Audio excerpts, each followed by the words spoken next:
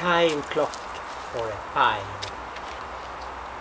Behind the gentle bark and inside the timber, nature continues hammering the time and creates a time clock for a pine stem.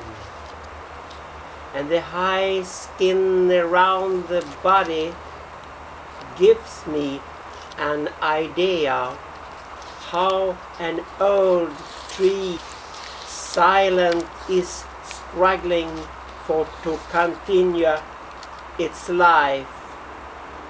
En tidsklocka för en tall.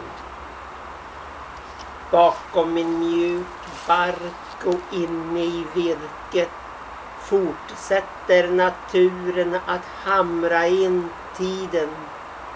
Den höga huden runt kroppen låter mig ana ett gammalt träds tysta kamp för att överleva.